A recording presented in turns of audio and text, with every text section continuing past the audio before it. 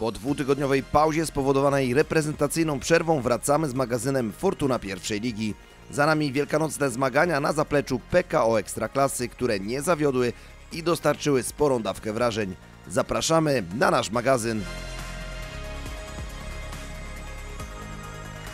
Tak wyglądały pary minionej kolejki. Na pierwszy plan wysuwały się starcia Miedzi Legnica z Arką Gdynia, Motoru Lublin z GKS-em Tychy czy też Lechii Gdańsk z Odrą Opole.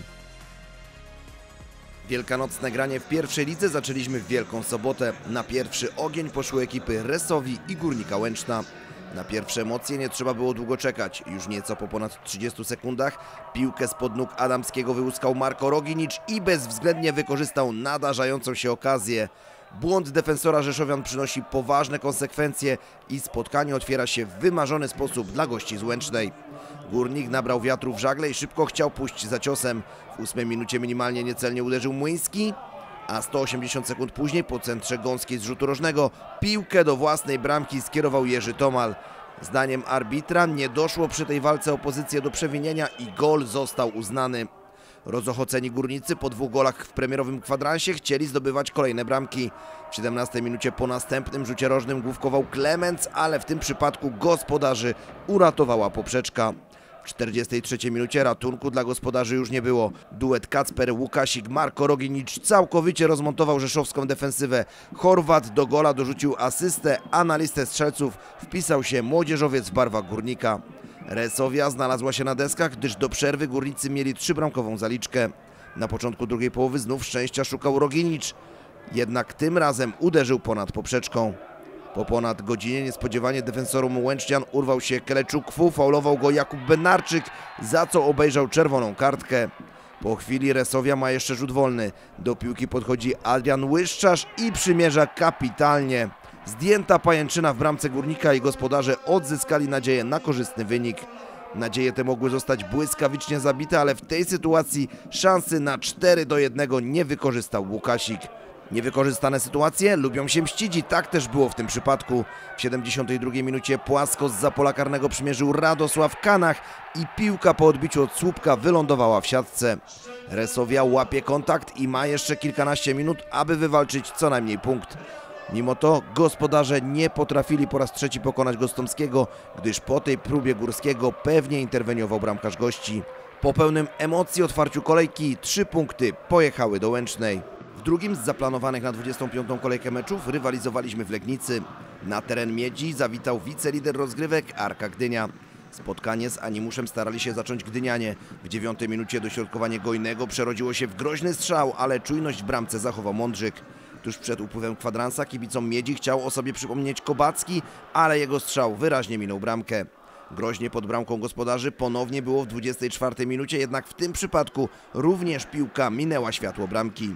Arkowcy jeszcze raz zaatakowali kilka chwil przed końcem pierwszej odsłony. W polu karnym przedzierał się Kobacki, piłka ostatecznie trafiła na nogę Karola Czubaka, a snajper żółto-niebieskich nie zwykł marnować takich okazji. Dzięki tej bramce Arka zeszła do szatni z jednobramkową zaliczką. Druga połowa mogła zacząć się tak samo udanie, jak zakończyła się pierwsza, jednak najpierw po podaniu gojnego lob Sidibe trafił w poprzeczkę, po czym piłka opuściła murawę, a następnie Czubak nie zdołał wykorzystać sytuacji sam na sam z Mądrzykiem. Młody bramkarz Miedzi miał pełne ręce roboty, gdyż wypożyczony z Rakowa golkiper uratował swoją drużynę w 77 minucie, ponownie powstrzymując Czubaka. Miedź nie poddawała się do samego końca, ale po tym dograniu Zalewskiego swojej szansy nie wykorzystał Bogacz. Powrót byłego piłkarza oraz trenera Miedzi, a obecnie szkoleniowca Arki Wojciecha Łowodzińskiego do Legnicy zakończył się po myśli Gdynian. Z Legnicy przenosimy się do Głogowa. Tutaj Chrobry chciał rywalizować o trzecie kolejne ligowe zwycięstwo, a na jego drodze stanęła faworyzowana Wisła Kraków. Pierwszych fragmentach groźniejsze sytuacje tworzyli sobie gospodarze. W dziesiątej minucie do wysiłku Ratona zmusił zarówny, natomiast Lebedyński nie zdążył dopaść do dobitki. W 18 minucie rywala z łatwością nawinął Kuzdra, huknął lewą nogą, ale po jego bombie piłka ostemplowała poprzeczkę i nie przekroczyła linii bramkowej. Po ponad pół godzinie zarówny ponownie sprawdził Ratona i bramkarz Wisły znów spisał się bez zarzutu. Wisła do głosu doszła dopiero pod koniec pierwszej połowy. W 45 minucie po strzale Sobczaka musiał interweniować Węglarz. W doliczonym czasie ponowili natarcie przyjezdni i po chwilowym zamieszaniu najlepiej w szesnastce zachował się Szymon Sobczak, który dał prowadzenie swojej ekipie. Pod nieobecność kontuzjowanego Rodado stanął na wysokości zadania Sobczak i po golu do szatni było 1 do 0 dla Białej Gwiazdy. Po zmianie stron do odrabiania strat przystąpili zawodnicy Chrobrego. W 48 minucie przeprowadzili niezwykle efektowną akcję. Po dalekim zagraniu Lebedyński zgrał piłkę do Szymona Bartlewicza, a ten uderzeniem z pierwszej piłki wyrównał stan rywalizacji. Piękna asysta i idealne wykończenie młodzieżowca sprawiły, że w Głogowie mieliśmy 1 do 1. Chrobry nabrał pewności siebie, a po złym zagraniu Krzyżanowskiego Ratona wyprzedził Lebedyński i doszło do faulu w polu karnym. Fakt braku wcześniejszego spalonego potwierdził VAR i po wideo weryfikacji gospodarze otrzymali rzut karny. Jedenastkę na gola pewnie zamienił sam poszkodowany i w ciągu kilku minut wynik odwrócił się na korzyść Chrobrego. Tuż przed upływem godziny po dalekim wyrzucie piłki z autu znów bramce Wisły zagroził Lebedyński, ale tym razem nie pokonał Ratona. To już 74 minuta i centra w pole karne Mandrysza, którą idealnie zamyka Albert Zarówny. Fantastyczna druga połowa w wykonaniu Głogowian, którzy z wyniku 0 do 1 doprowadzili do rezultatu 3-1. Wisła do końca walczyła o choćby punkt. W doliczonym czasie po zgraniu Sobczaka bramkę kontaktową zdobył Alan Uryga, ale na tym strzelanie w Głogowie dobiegło końca. Chrobry wygrywa trzeci raz z rzędu, z kolei Wisła rozczarowuje i ponosi bolesną porażkę.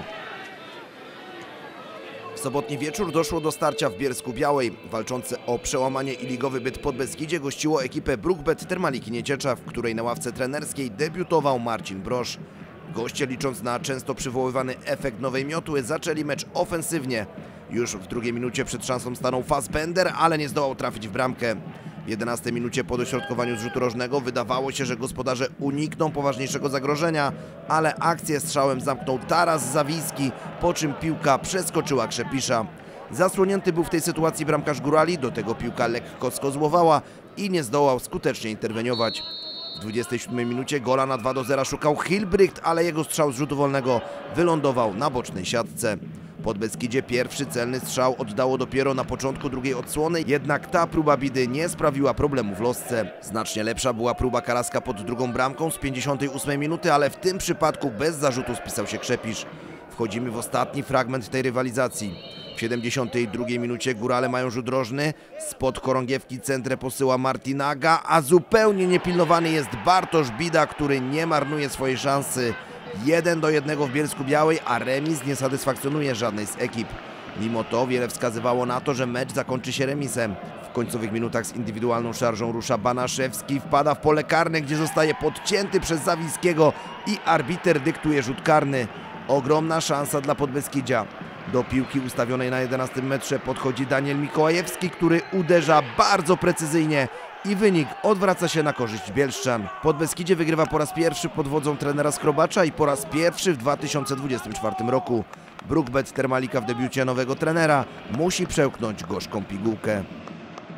Kolejkę kontynuowaliśmy w wielkanocny poniedziałek. Najpierw doszło do rywalizacji Beniaminków. Pruszkowie Znicz podejmował Polonię Warszawa. Od pierwszych minut na murawie niewiele się działo. Na warte odnotowania sytuację musieliśmy czekać aż do końcówki pierwszej połowy. Najpierw w 41 minucie po centrze Krajewskiego pomylił się na przedpolu Lemanowicz, ale na jego szczęście pozostało to bez konsekwencji. Z kolei następnie w doliczonym czasie nieczystym strzałem akcji swojego zespołu zakończył Nagamatsu. Polonia do głosu doszła po ponad godzinie. Widzimy jak w pole karne centruje Koton, a główka Auzumendiego szybuje wprost w słupek.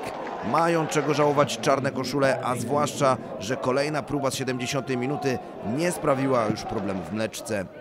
Znicz mógł przechylić szale zwycięstwa na swoją stronę rzutem na taśmę, ale w ostatniej akcji meczu po dalekim rzucie piłki z autu i główce błyszki nie dał się pokonać Nemanowicz. Starcie w Pruszkowie zakończyło się bezbarwnym remisem. Teraz czas na Sosnowiec. Ostatnie w stawce Zagłębie rywalizowało z rozpędzonym w 2024 roku GKS-em Katowice. Z pierwszym ofensywnym wypadem goście ruszyli przed upływem kwadransa. Po dograniu Bergiera uderzył Marzec, a skuteczną dobitką popisał się Antoni Kozubal i po golu wypożyczonego z Lecha Poznań młodzieżowca Gieksa szybko napoczęła rywala.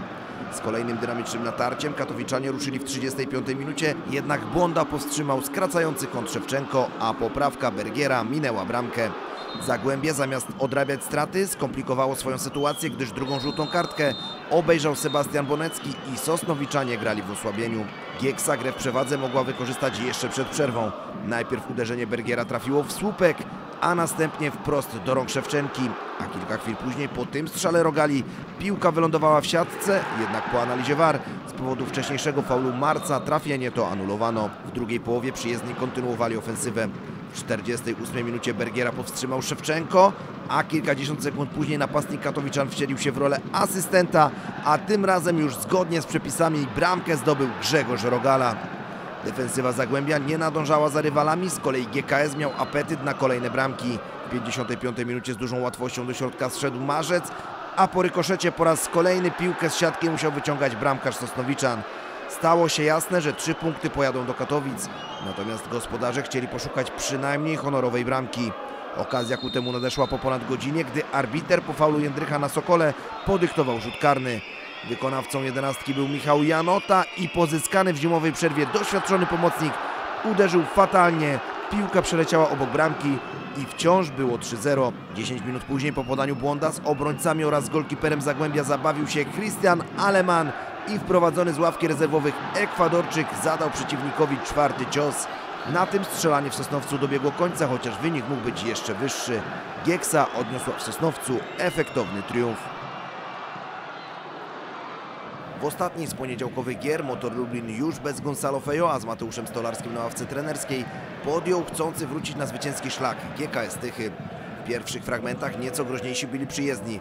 W 19 minucie mocny strzał śpiączki wylądował w bocznej siatce. W 26 minucie po główce Nedicza Rosa asekurował jeden z defensorów, a chwilę później piłka wylądowała w bramce po strzale Rumina, ale oczywiste było, że w tym przypadku napastnik Tyszan znajdował się na spalonym. Przenosimy się pod drugą bramkę. W 32 minucie po krótko rozegranym rzucie wolnym centrę w pole karne posyła Gąsior, strącił piłkę Najemski, a formalności dopełnia Sebastian Rudol. Dosyć nieoczekiwanie duet środkowych obrońców wypracował gola na 1 do 0. W pierwszej połowie mogło być nawet 2 do 0 dla gospodarzy, jednak efektowna próba wykończenia akcji ceglarza została powstrzymana przez Kikolskiego. Przechodzimy do wydarzeń z drugiej odsłony. W 56 minucie długie zagranie posyła Nedic, górną piłkę wygrywa Śpiączka, a idealny strzał z pierwszej piłki oddaje Mateusz Radecki. Świetnie nakrył futbolówkę wprowadzony od początku drugiej połowy na plac gry zawodnik i w Lublinie mieliśmy 1 do 1. W 65 minucie dublet mógł mieć Radecki, ale dobrą paradą popisał się Rosa, chociaż ten gol i tak raczej nie zostałby uznany. Motor zamierzał walczyć o pełną pulę. W doliczonym czasie piłkę meczową miał śpiewak, jednak nie zdołał wykorzystać tej szansy napastnik gospodarzy. Starcie w Lublinie zakończyło się podziałem punktów.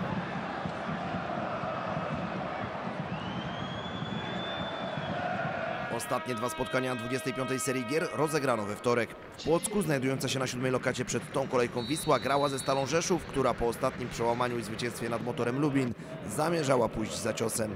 Pierwszą okazję do gospodarzy przyniosła dziesiąta minuta, jednak piłkę ponad poprzeczkę przeniósł Kocyła. Stalowcy szukali swoich szans, m.in. z kontrataków. Jeden z nich wyprowadzony został w 26 minucie. Nieco przypadkowo strzałem kończy ją Łyczko, a po chwili do dobitej piłki dopada Karol Łysiak. Jak się okazało, była to zabójcza kontra Rzeszowian i nawciarze musieli gonić wynik. W 34 minucie na 2 do 0 starał się podwyższyć Prokicz, ale dobrze w bramce zachował się Kamiński. Stal nie rezygnowała z poszukiwań drugiego gola również po zmianie stron. W 55 minucie Bukowski trafił w słupek, a poprawiający Prokicz nieznacznie chybił. Stal miała chrapkę na dalszą ofensywę, ale sytuacja gości zmieniła się w 67 minucie, gdy za komentarze w kierunku arbitra drugą żółtą, a w konsekwencji czerwoną kartkę obejrzał Milan Simczka. Z dysproporcji liczebnej zamierzała skorzystać Wisła. W 71 minucie Płotczanom jeszcze nie udało się dopiąć swego, natomiast 6 minut później po centrze zrzutu wolnego i zamieszaniu w polu karnym najlepiej zachował się Łukasz Sekulski i snajper gospodarzy mógł cieszyć się z 15 trafienia w sezonie, co zostało jeszcze potwierdzone przez VAR. Po tym golu można było przypuszczać, że gospodarze pójdą po pełną pulę. Tymczasem to 87 minuta i rzut rożny dla Stali. Po dośrodkowaniu w szesnastkę początkowo świetną paradą popisuje się Kamiński, ale ostatecznie Stal na raty pakuje piłkę do bramki. Bohaterem Rzeszowian zostaje Kamil Kościelny i nieoczekiwanie to przyjezdni zadali zabójczy cios. Stal zgarnia ważne trzy punkty. Kolejkę zamknęliśmy na obiekcie lidera w Gdańsku. Bezbłędna w tym roku Lechia dobrą pasę zamierzała podtrzymać w starciu z jedną z rewelacji sezonu Odrą Opole. W pierwszych minutach obie drużyny starały się skoncentrować na defensywie. W 17 minucie strzał z rzutu wolnego mimo znacznej odległości oddał Żelisko, ale mimo nieprzyjemnego kozła poradził sobie Haluch. W polu karnym Gdańszczan do zamieszania doszło po dalekim wyrzucie piłki z autu i Hindris sfaulował Sule. Sędzia Gryckiewicz podyktował rzut karny dla gości, a pewnym strzałem w samo okienko na gola zamienił go Rafał Niziołek. Odra w tym sezonie niejednokrotnie udowadniała, że potrafi sprawiać niespodzianki i w Gdańsku miała chrapkę na kolejną. W 31 minucie ponownie strzałem z pola karnego Halucha starał się zaskoczyć Żelisko, jednak znów bezskutecznie. Z kolei pod drugą bramką Sarnawski został zmuszony do interwencji po próbie Szreka i rekoszecie, który mógł utrudnić zadanie. Lechia nie chciała schodzić na przerwę przegrywając. W doliczonym czasie pierwszej połowy najpierw po błyskotliwym podaniu Chłania Bobczek uderzył w słupek, a chwilę później precyzyjnie przymierzył Kapicz i Haluch nie miał nic do powiedzenia. Gol do szatni sprawił, że w Gdańsku mieliśmy 1 do 1.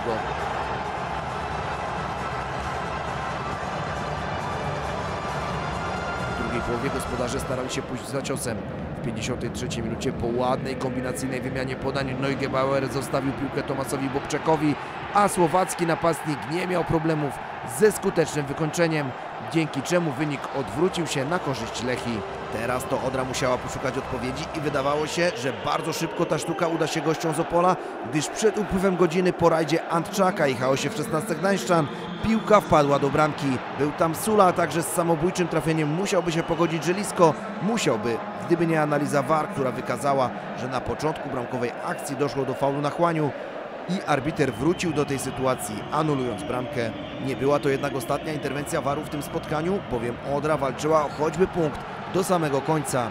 I w doliczonym czasie dzięki wideoweryfikacji wyłapane zostało to nieprawidłowe zagranie Żeliski i Odra otrzymała drugi rzut karny. Ogromne napięcie w Gdańsku, na zegarze setna minuta, a do piłki podchodzi Borka Galan, gdyż na murawie nie ma już Rafała Niziołka. Hiszpan wybiera rozwiązanie siłowe i trafia w poprzeczkę. Ogromne emocje w Gdańsku do samego końca i nie dziwi wybuch radości gospodarzy. Lechia utrzymuje korzystny wynik i w szóstym tegorocznym meczu odnosi szóste zwycięstwo.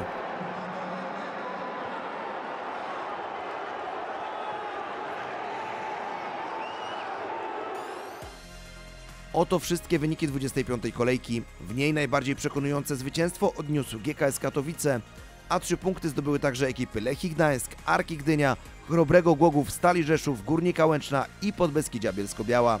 Do remisów doszło na stadionach Beniaminków w Pruszkowie oraz Lublinie. W tabeli stawce przewodzi bezbłędna w 2024 roku Lechia Gdańsk.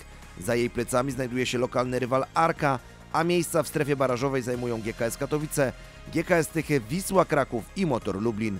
Dole tabeli nieco od strefy spadkowej odskoczyła Stal Rzeszów, tuż nad kreską znajduje się Resowia, a w strefie spadkowej pozostają Polonia Warszawa, Podbeskidzie, które dopisało na swoje konto cenne trzy oczka oraz odstające od stawki Zagłębie Sosnowiec.